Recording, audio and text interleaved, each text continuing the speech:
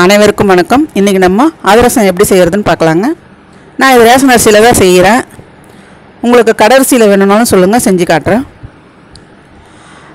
இது வந்து நாலு எடுத்திருக்கேன் ரேஷன் அரிசி.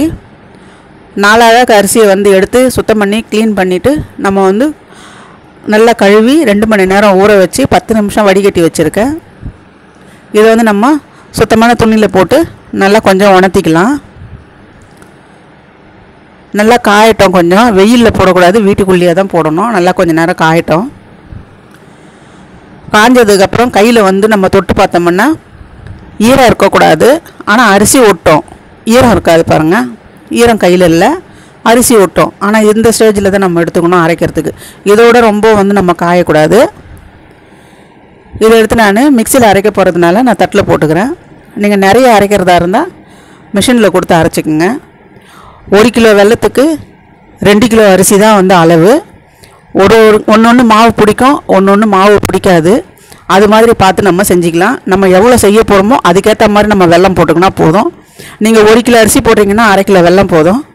நான் வந்து நானூறு கிராம் அரி- நானூறு கிராம் வெல்லம் போடுறேன். அதனால் எட்நூறு கிராம் அரிசி தான் போட்டிருக்கேன்.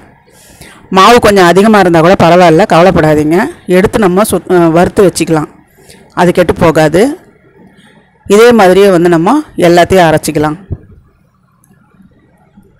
எந்த அரிசியாக இருந்தாலும் அதுதான் அளவுங்க. ஒரு கிலோ வெல்லத்துக்கு ரெண்டு கிலோ அரிசி.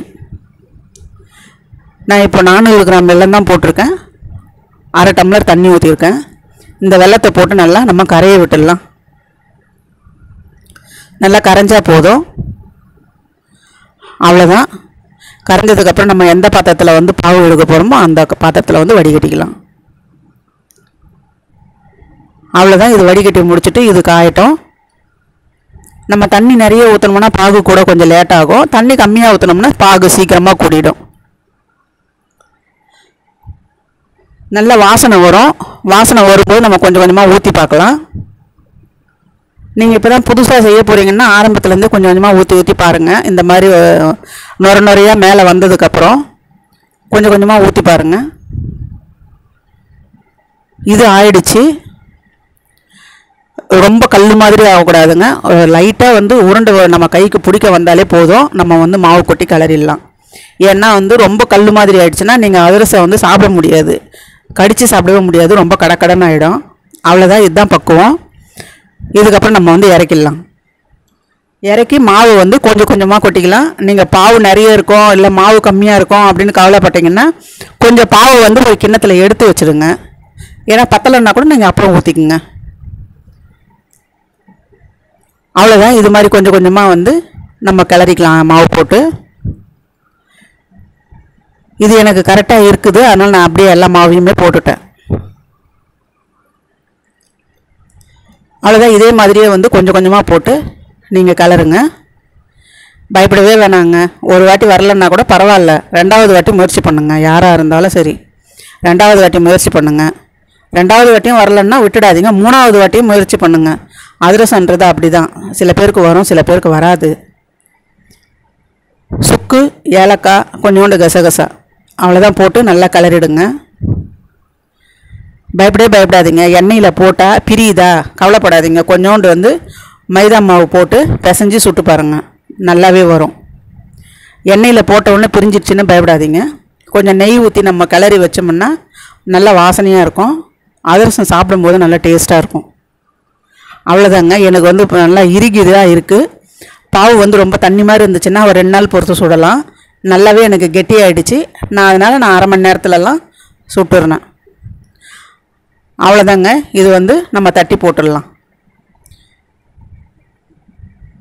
இலை இல்லைன்னா அந்த மாதிரி கவரு எதில் தட்டி போடுறாலும் போட்டுக்கலாம். ஒன்று இந்த மாதிரி ஓட்டை போட்டு பிடிக்கணும் போட்டுக்கங்க. இல்லை அப்படியே தட்டி போட்டு எடுத்து புழிஞ்சிக்கிறதுனாலும் இருந்தாலும் புழிஞ்சிக்கலாம்.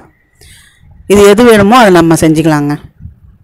அவ்வளோதான் நல்லா கொஞ்சம் திருப்பி திருப்பி விட்டு ஸ்லோலையும் ஐயிலையும் ஸ்லோலையும் ஐயிலையும் மாற்றி மாற்றி வைங்க ஏன்னா நீங்கள் விட்டிங்கன்னா சீக்கிரமாக கருகிடும். ஏன்னா வெள்ளம் இருக்கும் இல்லைங்களா? அதனால் சீக்கிரமாக கருகிடும். அதனால் நம்ம வந்து பார்த்து உஷாராக தான் எடுக்கணும். ஒன்று ஒன்றா தாங்க போட்டு எடுக்கணும். ரெண்டு மூணாக போட்டுறாதீங்க. கூட இன்னொருத்தவங்க யாருன்னா துணைக்கி இருக்காங்கன்னா ஒருத்தர் போட போட ஒருத்தர் எடுக்கலாம். ஒருத்தரே செய்கிறதா இருந்தால் ஒன்று ஒன்றா போட்டு எடுங்க. டைம் ஆனால் கூட பரவாயில்ல. அவ்வளோதாங்க இதே மாதிரியே வந்து நீங்கள் எல்லாத்தையும் போட்டு சுட்டு எடுத்துடலாம். இந்த அதிரசம் வந்து புழிய முடியாது. இது நான் வந்து ஓட்டை போட்டு போகிறதுனால அந்த அதிரசமாக இருந்தால் தட்டி போகிறதா இருந்தால் நம்ம வந்து புழிஞ்சு எடுக்கலாம். இதில் வந்து புழிய முடியாது. அப்படியே தான் எடுக்கணும். ஒன்று ஒன்றா போட்டு. நம்மளுக்கு எது மாதிரி வேணுமோ அது மாதிரி நம்ம சுட்டு எடுத்துக்கலாம். உங்களுக்கு கடற்சிலையும் வேணுமா? செஞ்சு பார்க்கணுன்னா சொல்லுங்கள் நான் செஞ்சு காட்டுறேன். அவ்வளோதாங்க இதே மாதிரியே வந்து இந்த தீபாவளிக்கு வந்து நீங்கள் செஞ்சு முயற்சி பண்ணி பார்த்துட்டு எனக்கு சொல்லுங்கள் புதுசாக செய்கிறவங்க கூட பயப்படாமல் செய்யலாம் இந்த வருஷம் தீபாவளிக்கு.